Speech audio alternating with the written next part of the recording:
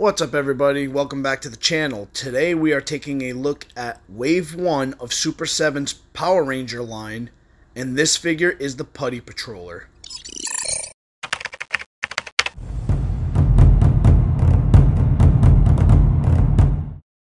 Alright, and like always, we start off with the packaging. So as you guys can see here on the slip cover, it has that nice green color to it with that like yellow lightning bolts hitting the center, which is a diamond, a gold diamond with the picture of the Putty Patroller. On the bottom it says Putty Patroller, and to the right hand side it says Super 7. So really nice. This is the typical look so far for Wave 1. I don't know if they're going to change it for the other waves, but this is so far how it's been. On the back it says Mighty Morphin Power Rangers with Super 7 again. Really cool. So now we're just going to lift up this slip cover here, and oh, that's happened to me every single time where it slips out of my hand. But anyway, uh, it comes out, and then as you guys can see here, it's got a nice window packaging in the front, so you can actually see the figure and all of its accessories. And then we spin it around, and it has a cool picture of the putty right there, and it actually has like a little bio on the bottom for uh, for you guys to read if you'd like to. So uh, yeah, anyway, guys, that's it for the packaging. Let's get this guy out. All right, we are starting off with the accessories, and I wanted to start off first with this. This thing's really cool. It's the uh, when Lord Zedd joined the team. That's when the putty started wearing this like vest thing. It's like a soft, you know, plastic that can go over him, which is really cool. And of course, it's got the armbands. So it's like a cloth, you know, it stretches, it can actually go onto the putty. So that's pretty important because you can change it from the traditional putty from season one to the Zedd putties that showed up later on. Uh, this is a nice little accessory as well. It's when they started having like the weapons for the hands. So this is like a sword hand, if you will. And it also came with the rock hand too, which that's pretty cool. Definitely different. I love all the detail on the rock. Look at that. It's got a nice shine to it. You can still see the fingers and stuff. Really cool. Of course, they also have a different head sculpt. Pretty neat. This one's got a little more detail than the one that it comes with. But I don't know. I might keep the one that's actually on there as opposed to this one. But we'll get to that. Got a little black mark on the back there too. Then we're going to jump on over to the hands, of course. Now they have he has two open hands right here. See, look at all the detail on the rocks. Look at that. Awesome. Just really nicely done. Then we got two like uh I guess these would be gripping hands, right? Yeah, I guess they consider gripping hands. Two more like that. There you go. Comes with a cowboy hat. Now you might be saying, what's up with the cowboy hat? Well, as we addressed with Super 7's Yellow Ranger in the last episode, they do a good job of doing little nods towards uh, certain episodes. This is the like uh, scarf that went around the, uh, you know, goes around the neck. And it comes with a pumpkin. So these are all little accessories that we've seen the putties deal with. Like they fought the putties in the pumpkin patch and stuff like that.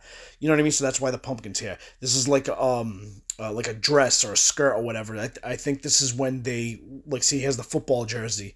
So I think this is when like you know there was an episode where they the putties turned into like athletes or whatever, football players, whatever you want to call it.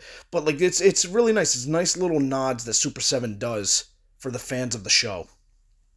All right, and now we're jumping into that first look, that 360 look from afar. And from afar, he looks great. So this is what I was talking about. When he comes out of the packaging, he looks like the traditional putty from season one. You know, he's got the all gray. He's got the black uh, like lines on his shoulder and, and torso. Really cool. He's got the red eyes. So I love the red eyes. I'm going to keep that head sculpt. Now we're going to bring him in close for that closer look. And this is what I'm talking about. Look at that. Look at the eyes. A little less detail on that face, but really cool. Oh, man, I got a little scuff here. Look at that. I got two scuffs. One on the belt, one on the belly. Ah, that kind of stinks. Ah, well. It is what it is, I guess, right? Other than that, very, very basic gray, which is what their costume was. I mean, it wasn't anything special. Very basic gray with a little bit of black, and then the rock hands really cool. Yeah, I like this head sculpt. I'm most likely going to keep this head sculpt on. All right, so now articulation. The head turns, turns up and down. Then we got the T-pose. It's got a swivel at the shoulder and a bicep swivel. So you got two uh, options there for movement. The elbow bends. Bends the other side, goes up, goes up. There you go. Oh, my hand's a little loose here. That's weird. Let's pop that back in. There we go. Got that ab cruncher right there, which gives him plenty of movement. But that is not all. We also got a nice little twist at the waist. Leg comes up, leg goes back. Then we got the knee bend, knee joint. Really good. No thigh swivel, but we do have a swivel at the like uh, the boot. And then the ankle also has a hinge which goes up and goes down. A little stiff, but not bad. Not bad at all. All right, so there we go. That is uh, that's it for articulation. We're gonna be back with my final thoughts, guys. All right, and here we are with our my final thoughts. This is what I was talking about. I switched out his hands. I gave him the rock, um, the rock hand and the sword hand. I gave him the cool uh, Zedd like uh, piece on the chest and on the arms. I really like how he looks with this. I'm a huge fan. I think it really steps up the game of the Putty Patroller, in my personal opinion but I'm keeping the head on. I really like this head over the other one. So that's just my opinion. This is how I'm going to have him set up, though, with the Lord Zedd stuff and the sword and the um, rock hands. I really like the look of it. I think it spices things up a little bit, makes them look a little bit cooler. And you know what? If I want, I could put a cowboy hat on them and put the cowboy scarf or whatever, you know? It's really cool. They give you plenty of options. I really like that Super 7 does that. Super 7 does some really good work. Like, I think at the price point and how much you pay for it and what you get with it, and plus the nods to the uh, to the real diehard fans, really positive outlook for Super 7.